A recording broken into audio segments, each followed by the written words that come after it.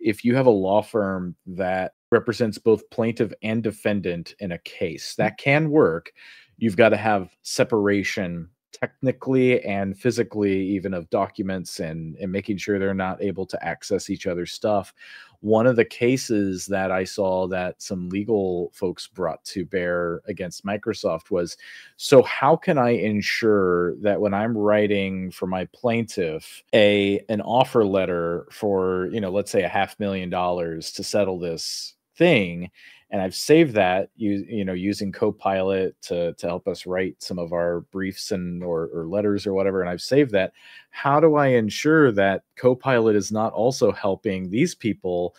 write a letter uh, or whatever, and then it auto fills in that half a million because it's modeled that this situation is similar to this situation and